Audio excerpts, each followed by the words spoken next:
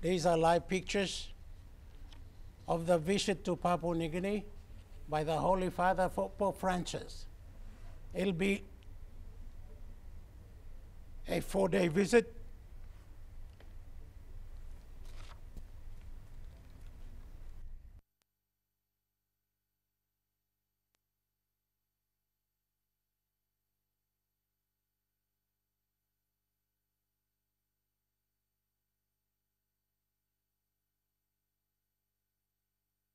Everybody at the airport is taking it all in. All eyes are focused on, on that Airbus, no doubt, and people outside as well. So are we here at the media center, and I'm sure everybody else who's watching.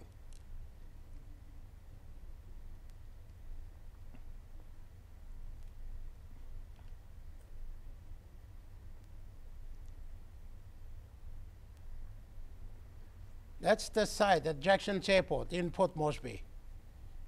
Quite a memorable sight. The visit to Papua New Guinea by Pope Francis. He'll be here on Saturday and Sunday. A number of uh, engagements are, are planned. He also visits Vanimo in the Sandaun province.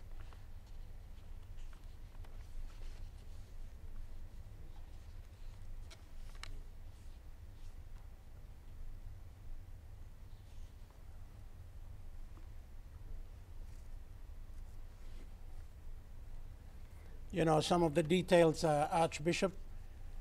The uh, population of Catholics in the world stand at, the, stand at 1.39 billion. And in Papua New Guinea, 96% of Papua New Guineans are Christians. And out of those, 30% of Papua New Guineans are Catholics. And that represents about 2.5 going on to 3 million people. And that's according to the 2012, 2011 rather census, and it's now almost 13 years. And we've that cen- those cen- that census has never been updated, so that number could have increased. We could guess it and still get it right. Yes, John. Uh, the population continues to grow. Yes. And uh, one of the challenges in Papua New Guinea, we never get ourselves right with our census. But we do know that uh, in the families, there expanding and the challenges of school fees, feeding, and of course our schools and our uh, health centers, these are the ones that measure how much are we uh, catering for all our people. Oh, absolutely. Yeah. Absolutely, Archbishop.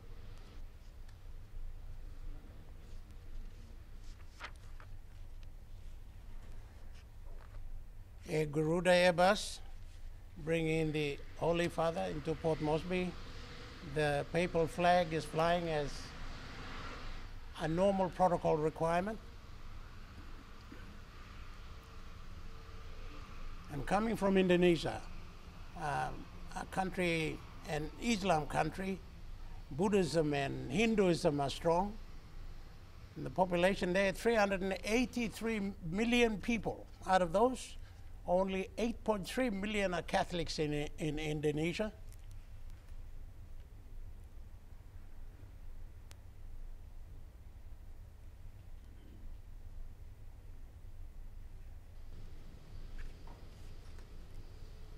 And in Papua New Guinea, as we alluded earlier, 30% of the how many people we have right now, and as we said, the census is not updated, 30% are Catholics, but 96% of the people are Christians.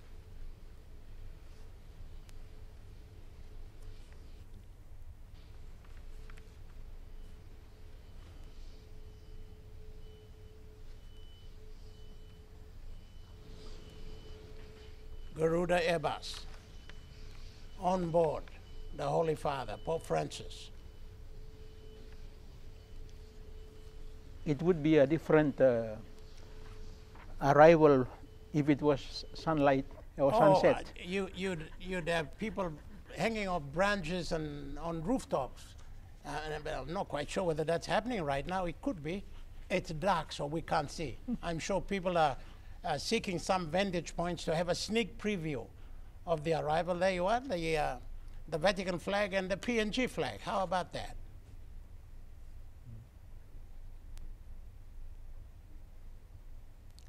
It is looking at that picture. It is a a, a picture of. Uh, uh, if it's not excitement, then it is a one of anticipation of what might be, what might happen, what might be said, what might be the outcome when it's all over. At a time when Papua New Guinea is going through some difficult times, difficult times of law and order, difficult times of hardships, difficult times politically.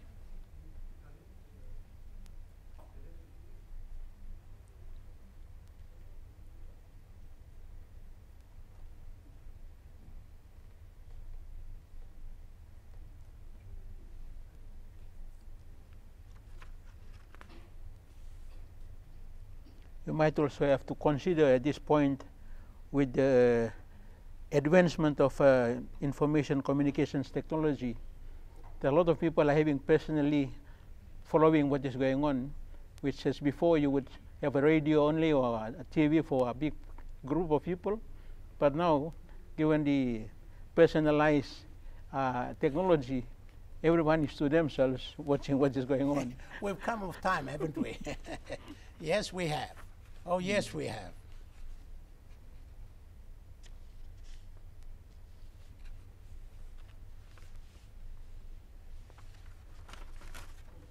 So when when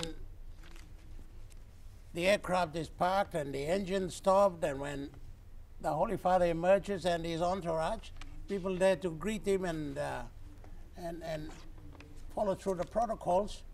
Will, as we said, the Deputy Prime Minister, the Honourable John Rosso, is already there representing the government and the people of Papua New Guinea to welcome the Holy Father.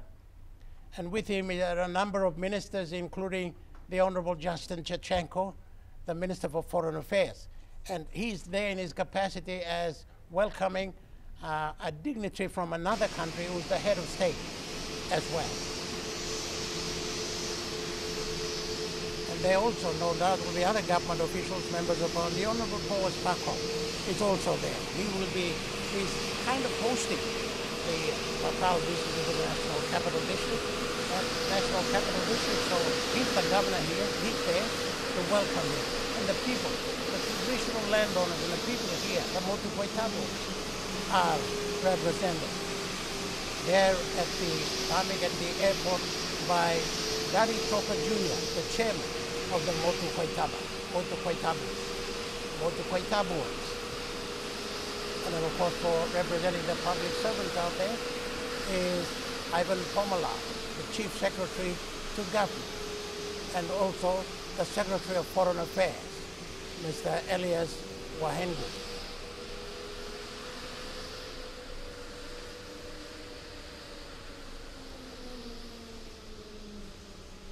On the Vatican side, there is, of course, uh, His Eminence, Cardinal Sir John Ribat, representing the, uh, the Archdiocese of Port Moresby, playing host to the, to the visit by the Papal.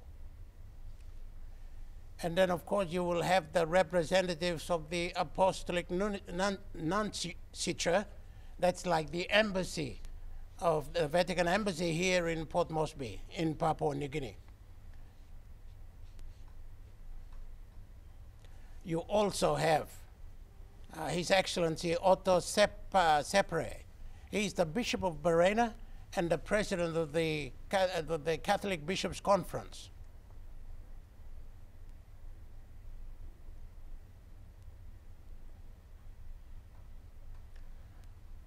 A little bit dark out there, and of course, out at the tarmac, you don't have lights like you. Uh, if, if it was a, if it's daytime, then it would be very clear. But Yes, it's uh, somebody switch on some lights there. Wow. I said the magic word, did I? There's the, uh, the crew that was responsible for flying the Holy Father from Jakarta in Indonesia to Port Moresby in Papua New Guinea. A trip that took almost five to six hours. We're waiting for the, for the moment when all will be cleared for uh, disembarkation of the people on board.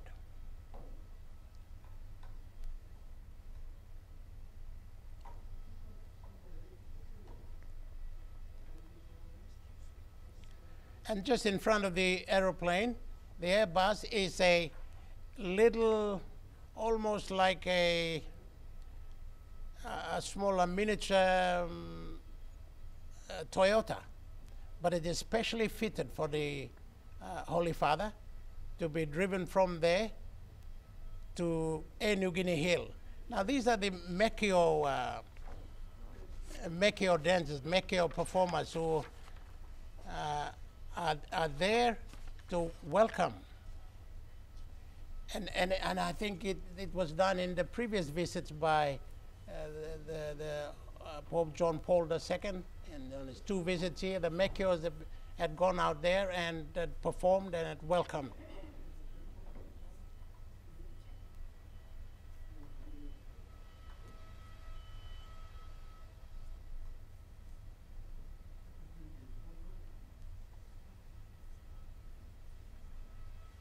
These pictures are coming to, to you live, wherever you are, live from Jackson's Airport in Port Moresby.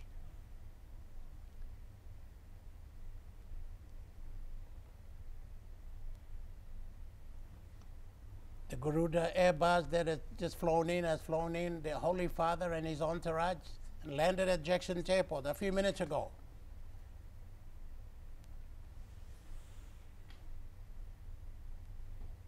It's been a long flight, and I'm sure he's had a pretty long day in Indonesia. So from here, there are no other programs planned. As he uh, steps down from the plane, he will take the guard of honor, say hello to the dignitaries there, take the guard of honor, and then will be taken to a New Guinea Hill, where the apostolic nuncio, nuncio is. That's the embassy of the Vatican.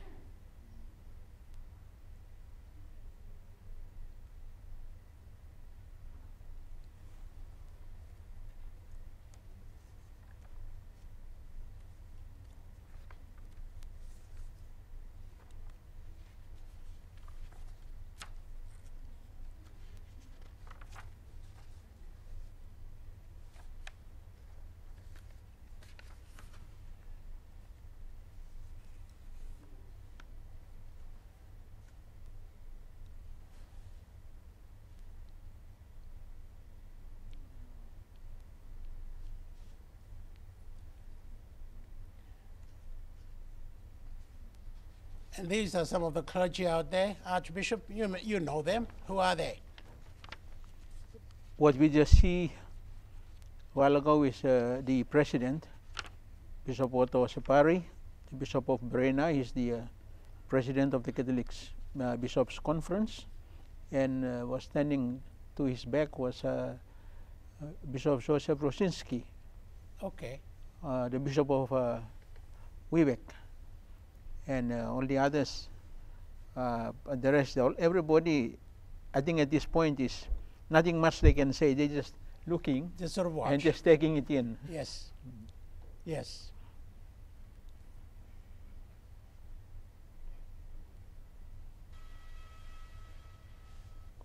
So they've obviously opened two doors. One at the back, I take it, will be the entourage, the the accredited uh, media will come out will come out of there. Some security personnel.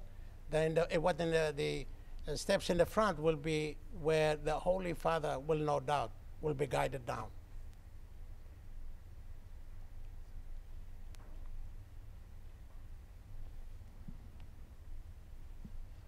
And there's some of the uh, members, part of the entourage, coming down at the back end. And if they are media people, they will no doubt, they will no doubt circle the front to take pictures.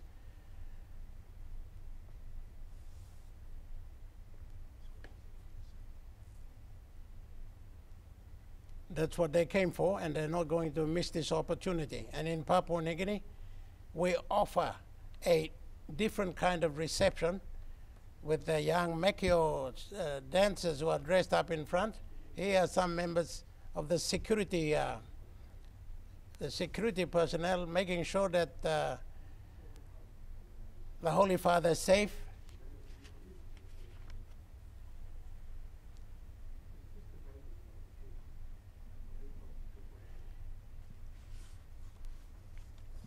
Trained personnel, so they uh,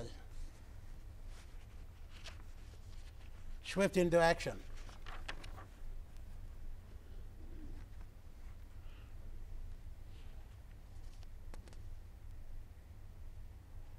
Now the members of some, some of our dignitaries as well as the two Mekeo girls dressed in Mekeo dress will welcome the Holy Father.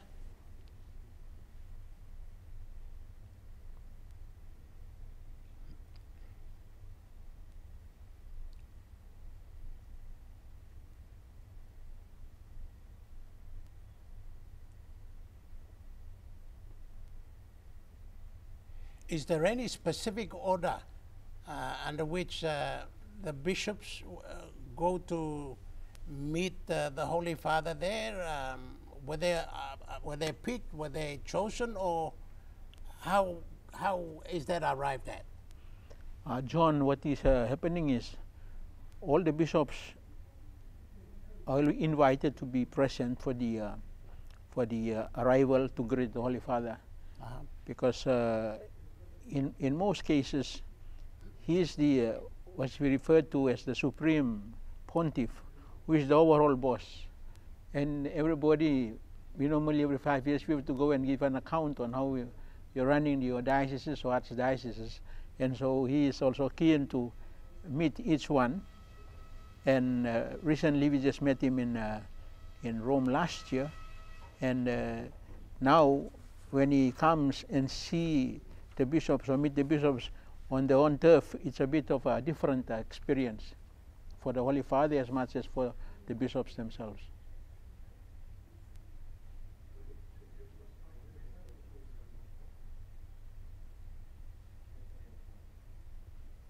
So in that regard, there is no, uh, of course, we have the cardinal uh, and the uh, uh, chairman of the bishops' conference, the president, and then the rest. That's about it. We'll be having also a few others who arrived. The other cardinal from Tonga and another archbishop from Fiji and uh, from New Zealand who just felt that this because we are making Papua New Guinea as representing the Oceania, and so these other bishops felt that they have to be here to representing their four conferences uh, Australia, New Zealand, uh, and CEPAC is all the nations in the Pacific Ocean and Papua New Guinea Solomon Islands. So this is why we we we are hearing the, refer- the referral or the reference is that this visit uh, is a pastoral and apostolic visit of His Holiness uh, Pope Francis to this uh, to Asia and Oceania, and we Papua New Guinea seems to be at the the borderline between Asia and uh, Oceania. Yeah. Or where the bridge? Yeah, yeah. Where the bridge?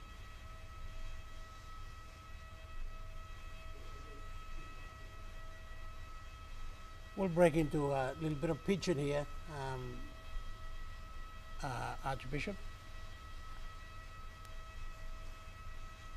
Online blo papo ni gini. Em yumi tok minis disla balus e karim po posati kam luki mipla kam lo country blo mipla Em balus e kam pundahan pinis na online ol big line blong gapman na lotu tu oli golo place balus long ko kisimem tok welcome long em na kisimem na em by ikat plenty of program long em long wakim long port mosby long saturday na sunday na tu em by go long Vanimol or West Sepik Province. You go looking all some all missionary usat oli kam lo place where em kam long em.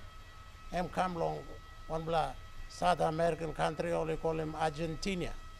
Na little old missionary all some all system or walk line all come long up. Now you look all same all line here, it come down the front end and all some all line which they come on them. Eh?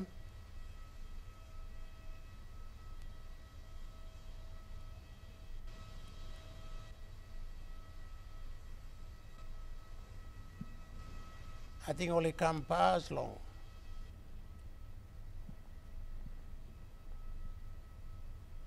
Ready long em by come down. Mibla wait yet.